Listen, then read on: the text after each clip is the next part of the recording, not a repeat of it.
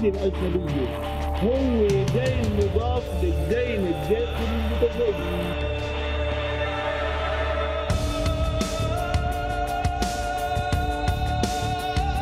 نحن باقتصاد مدولة يعني إذا ما في دولار بالأسواق ما في اقتصاد.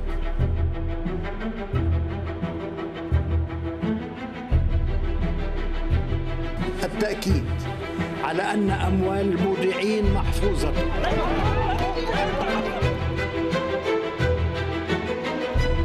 أنا طالع على قصر بعبدة لتقديم استقالة الحكومة.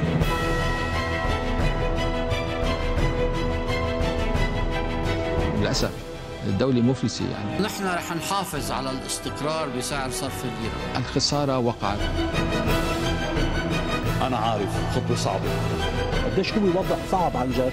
بس هذا الوضع الصعب إذا واحد بياخذ قرار جدي كيف يستخدم هالمصاري الموجودين ولا يقطع هذه المرحلة. ولا يقطع هذه المرحلة.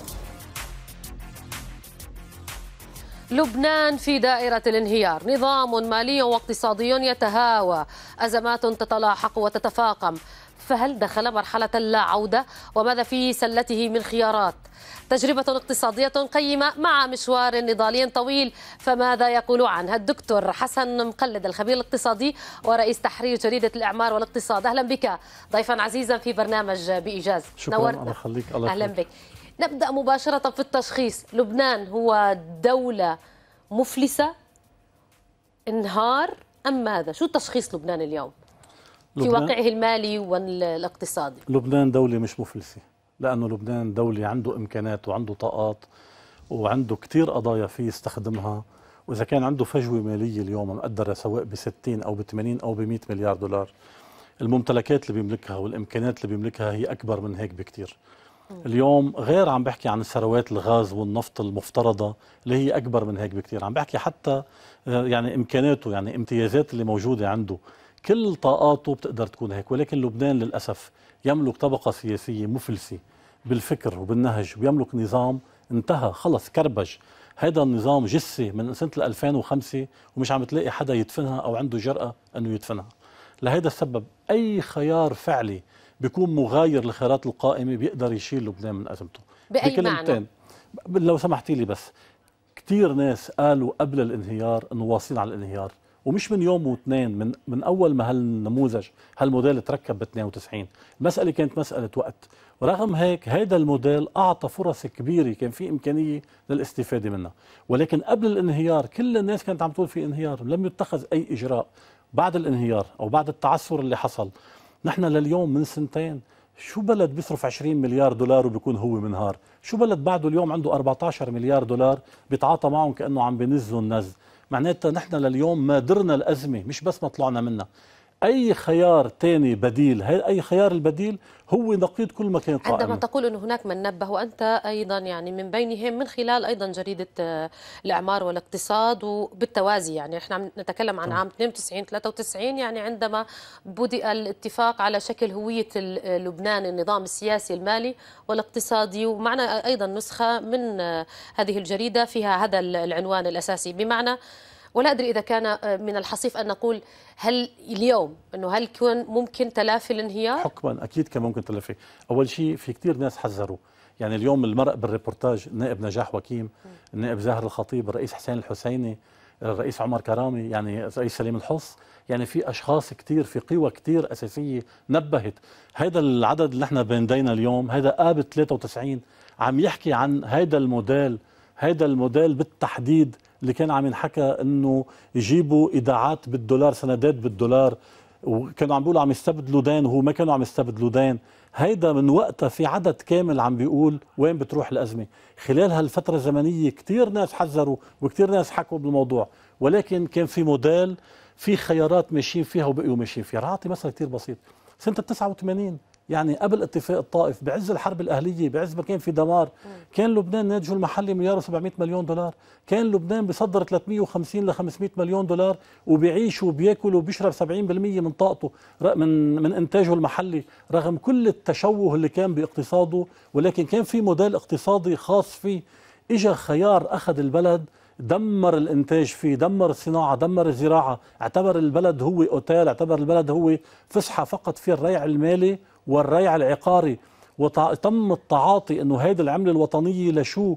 نحن عندنا دولار الدولار هو اللي بيسيرنا. بين 92 و 98 صارت أول أزمة كبرى. لهذا السبب كان في امكانات واليوم في امكانات لتفادي نتحدث عنها. لكن حتى يعني نصل إلى فكرة آه، المسار الذي يوجد فيه لبنان في آه، تشخيصه. اليوم الحديث عن خيار البنك الدولي أو صندوق النقد الدولي، هل هذا الخيار كان مساهما فعلا فيما وصل إلى لبنان من انهيار؟ هذا السؤال قد يكون الإجابة عليه ربما يعني البعض يقدمها على أنها واضحة، لكن هل ما زال تحت هذا السقف هناك من خيارات يمكن للبنان أن ينتشل من آه، الواقع الذي هو فيه ضمن سقف البنك الدولي أم أكيد لا؟ أكيد أول شيء بحب أقول البنك الدولي وصندوق النقد الدولي كانوا موجودين وبقوة بالموديل الاقتصادي اللي وصلنا للانهيار ولا يوم كانوا بعد. من عام 92 لكل المراحل اللي حصلت طالما بالسياسي كان لبنان منسجم مع البنك الدولي وصندوق النقد الدولي كانوا عم بيغط عملوا له غطاء كامل لكل شيء صار. وقت ما بلش في اختلاف بالسياسي وتغيرت الدنيا بالمنطقة بلشوا من تحذيرات يعملوها ولكن ضمن سقف إنه هن مغطين ومكفين نعم.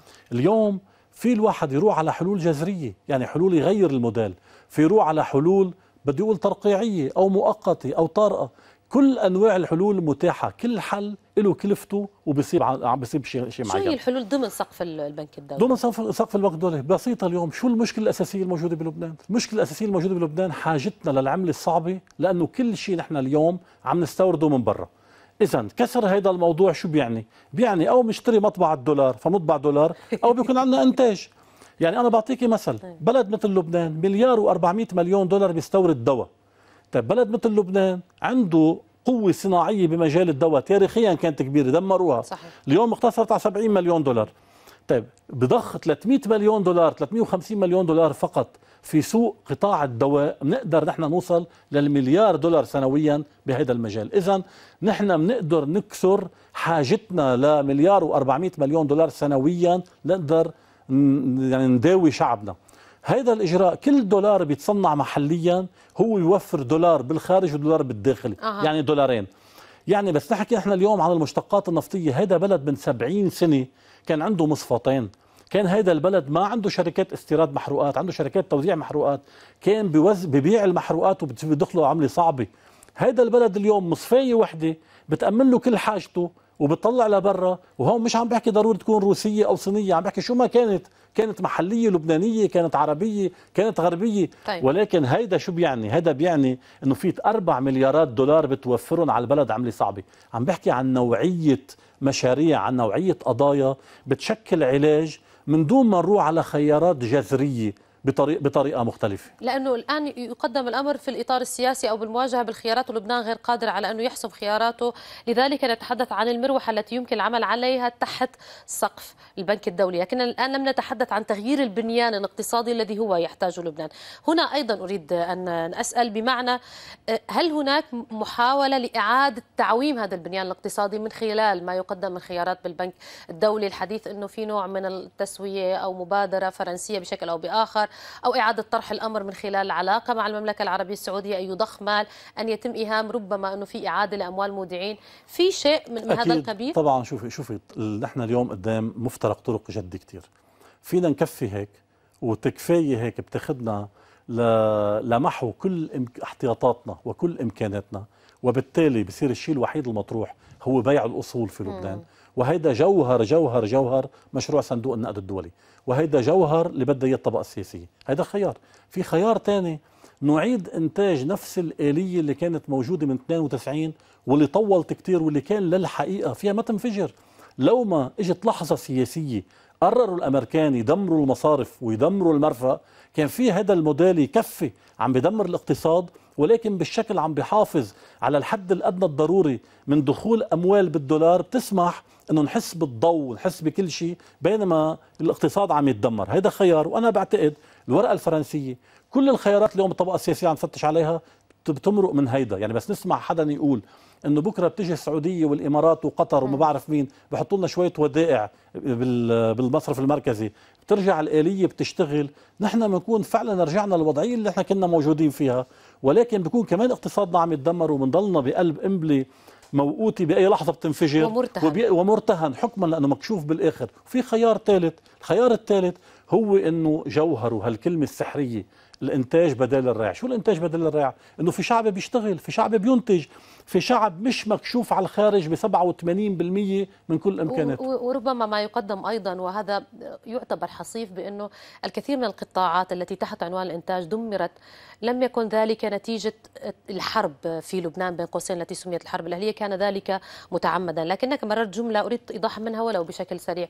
قلت عندما قررت الولايات المتحدة الأمريكية أن تدمر المرفأ.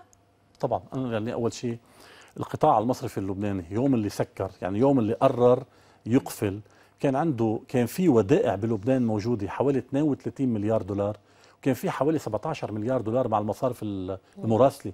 هذا بلد مثل لبنان غير الذهب هذا بلد مثل لبنان بس يكون معه 50 مليار دولار. شو بيوقفوا هذا بالاجتياح الإسرائيلي عام 82 بكل الحروب ما سكرت المصارف ثلاث أيام ورا بعضها. شو معناتها تسكر 15 يوم؟ بحب ذكر ذكر كثير منيح. أول يوم فتحت المصارف كان نهار خميس. خميس وجمعة وسبت وزع الدولارات بشكل كتير طبيعي. نهار الأحد حصلت الكوارث التنين صار التوقف عن الدفع وصار التقنين بهذه الطريقة. هذا مش قرار محلي. أول شيء المصارف اللبنانية ما عملت مصارف لبنانية وسرية مصرفية لكن لأنه دمرت المرفأ؟ لأنه في راح أكفي على المرفأ. آه. هيدي ما عملتها لأنه في عبقرية لبنانية لأنه كان في سرية المصرفية من ضمن تقاسم وظيفي بأيام الحرب الباردة. لهيدا السبب. والمرفأ اللي عم بحكي عنه كمان المرفأ مش عبقريه اللبنانية عملته. كمان كان في تقسيم بين الشرق والغرب ومرفأ بيروت أخذ كل هالحجم تبعه بقرار. يوم ال- يوم اللي قررت إدارة ترامب انها تروح على الآخر بموضوع مش بس حفة الهاوية بتدمير لبنان تدمرت المصارف وتدمر المرفأ. ولكن هذا ما بيعفي أبدا الجزء المحلي من الموضوع إنه ما حدا حط خطة اعتراضية. وأنا دائما بقول إذا كانت الهجمة الأمريكية ماشي فتحنا لها الباب وفرجنا لها نعم. السجاد الأحمر. ولا تفضلي. بس موضوع إنه تم عمليا إنه يعني هذا كلام يعني يمكن يوقف الكثر عنده إنه الولايات المتحدة الأمريكية دمرت أنا برجع بقول لك أكثر من هيك. أنا في يعني شغلة مشهورة كثير يعني بلقاء مع رئيس حكومي سابق بس كان عم بيقول وقتها إنه ليش ما بندفع دولار واحد؟ أنا وقتها حكيت وقلت قلت ما في قرار أمريكاني مبلغينه نحن طيب. كان وقتها معنا 22 مليار دولار بارصدتنا بالخارج. كان ممنوع نقدر نصرف منهم دولار واحد.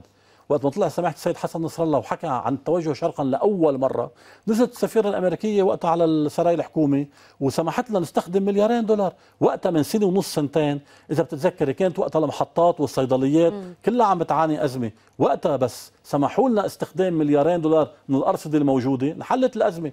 هذا معناتها كان في قرار. أمريكي يعني ما كان في قرار آه، عادي. أتحدث عن موضوع ال- ال- الاتجاه شرقا سنعرض بعض من المشاركات أيضا عبر ال social media عندما عرضنا ترويجا أنا كنت ضيفنا في برنامج بإيجاز. أحمد عبدتشي يقول ماذا يعوق الاتجاه شرقا؟ أنت يعني أوحيت له ولكن من خلاله أيضا سأذهب لمشاركة لموسى موسى. سؤال بسيط من يعيق من الدولة العرض الروسي بكل وضوح؟ أنا سأسألك الأمر بهذا الاتجاه وبأنه ما حقيقة العرض آه، آه، الروسي يعني. موضوع المصفات أنت قدمته على أنه واحدة من الحلول التي يمكن أن تساهم ببدء عجلة إخراج لبنان حيث هو من مأزقه المالي وبالتالي يمكن يكون هناك مسار للحل حتى على الأزمة الاقتصادية. أنا قلت مشروع المصفات هو أكبر من مشروع صندوق النقد الدولي يعني أكبر بكثير. يعني مشروع المصفات سنويا قيمته 5 مليار دولار مش 3 مليارات دولار على أربع سنوات. ولكن وزير الطاقة كان ضيفك وهو هو. يخبر الأسبوع الماضي إنه هذا مشروع عملاق واعتبر أكبر مشروع من وقت تأسيس الكيان اللبناني مليارين دولار لوين إحنا برجعنا العرض الروسي بكل بساطة هو عرض تكرر ثلاث مرات بثلاث أوجه مختلفة هذا العرض كان بيشمل إنه بنعمل مصفات 230 ألف برميل يوميا بتأمن 5 ملي... 5 ملايين متر مكعب من الغاز يعني كل حاجة لبنان مع معمل إضافي. إضافة لكل حاجة لبنان مشتقات نفطية بالليرة اللبنانية بتنباع. إضافة لتصدير 70 ألف برميل من المشتقات النفطية مما بيدخل للبنان حوالي مليار و700 مليون دولار سنويا. يعني إحنا اليوم العجز اللي عم نوقع فيه 4 مليارات كان انعكس على مليار و700 مليون دولار إيجابا. هذا العرض الروسي. شو اللي عرقله للأسف الشديد ارتهان الطبقة السياسية اللبنانية جبينتها مصالحها الخاصة الكبيرة كونه سوق المحروقات وسوق الكهرباء هو تحاصل سياسي من 30 سنة لليوم بتعيش عليه ثلاث أرباع الطبقة السياسية إذا مش كلها. كل هول العوامل جعلوهم يلبطوا لبيط بالروس للأسف على التعبير. وجعلوهم إنه ما حدا يتعاطى بجدية بهذا الموضوع رغم تكراره ورغم كل الجوانب الرسمية. وأنا هون أول مرة بقولها للأسف الشديد. نحن عم نخسر إمكانية هذا العرض بشكل جدي لأنه المهله الزمنية اللي بعدها متاحة لنا قليلة جدا ولأنه في دول حوالينا قاتلة حالها تروح لعندها المصفاية. فالروس وصلوا لمحل عم يتعاطوا إنه عن أي جدية عم نحكي. وأنا بعتقد إنه باقرب فرصة بعد الانتخابات النيابية رح نحكي بتفاصيل التفاصيل حول هذا الموضوع. لا أنا سنقف عنده بالتأكيد يعني بعد الانتخابات و... وهذه نقطة مهمة جدا يعني ليست إشارة عابرة بأنه العرض الروسي وصل إلى مرحلة التماس أنه في عدم جدية في التعاطي وبالتالي في هامش زمني عن أي هامش زمني نتحدث؟ ومين هي الدول التي قد تكون مهتمة وتأخذ ربما يا سيدتي العزيزة أنا بدي أقول لك شغلة. العرض الروسي أول مرة وثاني مرة وثالث مرة آخر شيء انطلب طلب أنه إذا فينا نجيب غاز يعني لتكون أنشئت المصفات بعد 14 شهر إذا الروس مستعدين يأمنوا غاز قدموا عرض رسمي مكتوب مستعدين يأمنوا كمية غاز للبنان من دون ما لبنان يدفع ولا قرش واحد ولا سنس واحد. وهن بيعملوا الخزانات.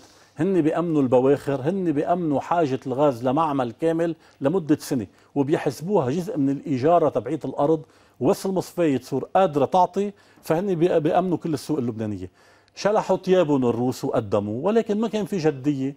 هالمدى الزمني اللي عم بحكي عنه مش أكثر من شهر شهر بعده متاح خلال هذا الشهر الدول المتاحة العراق مهتم كل الدول اللي حوالينا مهتمة. يعني الدول الدول اليوم المطلة على البحر المتوسط بتعرف إنه نحن بعد خمس سنين ما عاد في مصافي بأوروبا.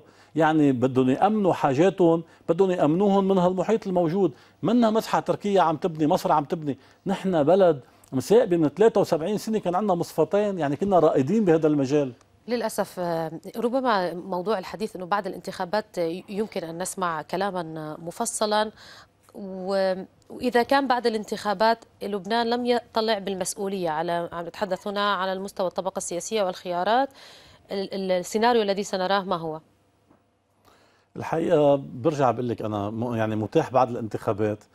أو يرجع التوافق أو التفاهم إقليمي يرجع يسمح بلبنان لأكسجين ولكن وفق مؤقت. نفس الآلية تماما مؤقت وقابل للانفجار أكثر هذا خيار ربما بعد الانتخابات النيابية حدا يحسم خياراته أكثر ويقرر إنه وصلنا لمرحلة يعني مثل ما سمعنا اليوم السيد حسن نصر الله عم يحكي بالاتجاه اللي عم يحكي فيه بلكي ساعتها بصير في إمكانية مجلس نواب جديد حكومة جديدة تقدر تاخذ خيارات البديهيات مش خيارات نحن بس نحكي عن توجه شرقا بس عم نحكي عن تنوع شرقا. يعني ما بيتجاوز حجم هالدخول 5% من مجمل الاقتصاد يعني اليوم الصين لا يلغي الاتجاه يعني ابدا يعني اليوم اليوم الصين مستثمر 42 مليار دولار بالسعودية 33 مليار دولار بالإمارات 15 مليار دولار بإسرائيل بمصر فوق 16 مليار دولار. م. يعني بأمريكا نفسها الصين أكبر مستثمر. اليوم علاقات الروسية الإماراتية السعودية العراقية القبرصيه الإسرائيلية للأسف علاقات كبيرة جدا. ليش بس لبنان بده يستثنى من هذا الموضوع؟ لأنك ذكرت السيد حسن نصر الله اليوم في خطابه قال بأنه في فرصة ذهبية في توقيت يعني كما وصفها الحرب الأوكرانية وحاجة أوروبا للغاز والنفط. وهنا النقطة التي مرتبطة بعملية تنقيب لبنان عن غازه ونفطه في شرق المتوسط. وقال إذا منعنا سنمنع في كلام موجه باتجاه إسرائيل. الحقيقة قال جملة مباشرة وراها إنه الإسرائيليين ينتهزوا الفرص. مم. اليوم إسرائيل مع تركيا عم بيقدموا حالهم كبديل للغاز الروسي لأوروبا. نحن أول شيء عندنا فرصة إنه هذا الغاز اليوم رجع سعره تضاعف بأضعاف يعني بفعل الحرب القائمة اليوم. في حاجة له لأنه أوروبا محتاجة والعالم محتاج غاز وإسرائيل عم بتحاول تقدم حالها اليوم كأنما هي بديل. وأنا بعتقد هذا مستحيل لاعتبارات سياسية وأعتبارات غير سياسية. ولكن تماما معه حق اللي عم بيقولوا إنه لبنان اليوم استعاد هالحق تبعه فايدته وإمكانيته ولكن يبلش لبنان يشتغل وأنا بقول لك أكثر من هيك في شركات شرقا وغربا جاهزه جاهزة تجي ولكن لبنان الرسمي يعني بيروح أبعد بكثير ما بدهم الأمريكان مصالح طبقته السياسية بتفترض شيء ثاني اليوم ما عاد في إمكانية لكسر مصلحة. لكسر هالحلقة إلا بقرار جدي وقرار يعني ب- نعم. لأول مرة عم يكسروا هذه المصالح في سأعود للمشاركات عبر ال social media لأستفيد من مشاركة ميسا. تقول هل هناك بصيص أمل بعد كل جهودك يعني المشكورة؟ لأنه عن جهودك المشكورة أريد أن أتحدث. لديك تجربة اقتصادية مهمة. وكنت بالسياسة يعني نحن نتحدث عن من جريدة البناء. دخلت لتكتب بالسياسة وإذ بك تذهب إلى الاقتصاد. وتتحدث الاقتصاد بطريقة يعني شيقة وممتعة وتقدم على أنها مادة جامدة ومنفرة والناس لا تفهم بها. لكن مع دكتور حسن مقلد نستطيع أن نفهم الاقتصاد نحب- نحب ونفهم أهميته آه، أيضا. لماذا الاقتصاد؟ الحقيقة أنا أتيح لي أنه أدرس بكوبا وبالاتحاد السوفيتي. وجيت آه، وكنت بالعمل السياسي. وفت على الصحافة من العمل السياسي. واكتشفنا بالصحافة عم بحكي أنا ب 86 يعني. اكتشفنا أنه اللغة الاقتصادية لغة جامدة جدا وصعبة جدا. كيف بيقدر الواحد يعملها لغة إنسانية وملموسة؟ ولغة بتهم الناس بالمباشر. عملنا تجربة بهذا المجال وبعتقد أنه يعني كانت تجربة بعد يعني 35 سنة 36 سنة كانت تجربة معقولة بسلاسة اللغة وبفهم الاقتصاد. لأنه الاقتصاد هو حياتنا اليومية والناس هو هو هو. أساس. يعني أنا بشكرهم الناس الناس بعتقد يعني هيك آه، بطبيعتها بتعرف مين عن جد عم يشتغل ومين عم يشتغل. وأنت هلأ جهودنا جهودنا إيه. بهيد بهذا المجال. الحقيقة أنا بقول لك بعد سنتين لأنه عندنا تجربة قبل كانت مع الصينيين. إيه. عملنا تجربة بال 2018 مع الصينيين كانت استثنائية. وأنا جبت رسالة سلمتها لفخامه الرئيس. كانت قد سادر 12 مليار و500 مليون دولار على قطار على مجموعة قضايا. ولكن كان بالبلد يعني في رفض للصين استثنائي. حتى يعني فقدنا كل مصداقيتنا بالعلاقة مع الشركات الصينية. واليوم اللي بيحكي ليش الصينيين ما إجوا؟ الصينيين اليوم يعني حتى على القطار اللي هن موقعين يعني مذكرة تفاهم كرماله ودفعوا مليونين دولار دراسات هن عملوها. اليوم بس يسمعوا إنه الفرنساوية أخذوا القطار وراح يقدموا مشروع بتموز. فيعني بينما الانتخابات النيابية هلأ فبيقولوا لنا طولوا بالكم علينا بس صيروا جديين كمان بنحكي. آه. تجربتنا مع روسيا كانت شوي أشد لأنه روسيا كانت ماخذه قرار بالدخول ولا تزال ماخذه قرار بالدخول ولكن بلكي الكرة في ملعب الدولة بلكي. تحت شك شكل تاني أنا في لك بعد سنتين من الشغل المتواصل إيه تعبنا وصلنا لمحل تعبنا خاصة إنه المؤسف إنه بتقدمي وثائق رسمية بتقدمي دراسات نعم. نعم. بتقسمي موديل يعني سهل على المسؤول يطلع يقول ما أخذنا شيء يعني السفير الروسي شاركنا يعني بكل هال هالمسار هيدا نعم. بشكل رسمي الوزير الخارجية الروسي بس استقبل كل الوفود اللبنانيه نعم. حكاهم بهذا الموضوع بيطلع من بشكك بالموضوع وأنت آه، هذه هذه رسالة هذه هناك طبعاً. يشكك بالموضوع طبعا يشكك في ناس في ناس مسؤولين كبار طيب. شككوا بالموضوع اضطرينا أنا ما بحياتي نشرت وثيقة اضطريت أنشر وثائق بلحظة من اللحظات سواء عن الروس أو عن الصينيين أنا أكثر من هيك نش- نشرت نص كفالة مصرفية بمليارين دولار لأنه احد المسؤولين؟ قال طبعا لأنه احد المسؤولين قال إنه إنه إنه ما قدمنا شيء جدي علما إنه الناس بيعرفوا إنه هيدي الشركة اللي إجت مع خبراء ثلاث مرات قدمت كتير وثائق وعلى كل حال هلأ آخر شيء بهمنا اللي قاله الوزير الطاقه عندك هون كان كتير مهم بهذا المجال. حول أ- أهمية يعني أهمية هذا المشروع وضخامته وأنت والآخرين. محطم الرقم القياسي بتقديم ال- المبادرات يعني التي حاولت أنه تقدمها الدولة اللبنانية على مسار سنوات.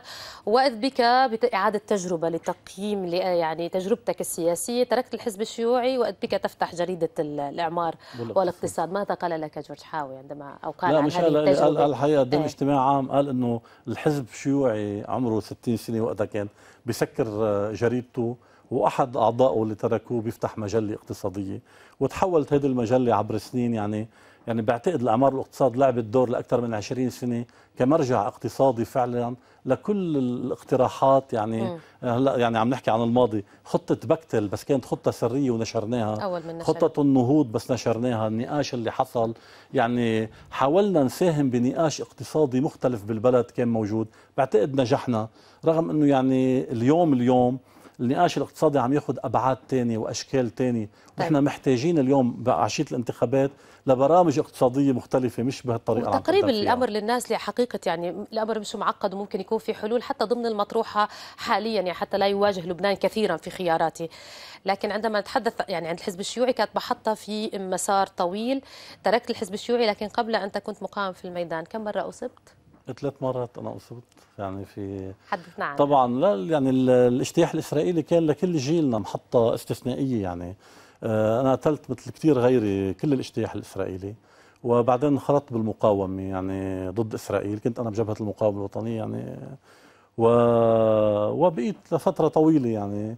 أنا تركت بداية التسعينات يعني وبتذكر كتبت مقال طويل بالسفير كيف يبنى المستقبل بعقلية الماضي.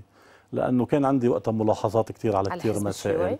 على الف... على البرنامج الوطني ككل يعني إنه هل الوطن يبنى هيك بطوائف أو يبنى ب... بصيغة معينة؟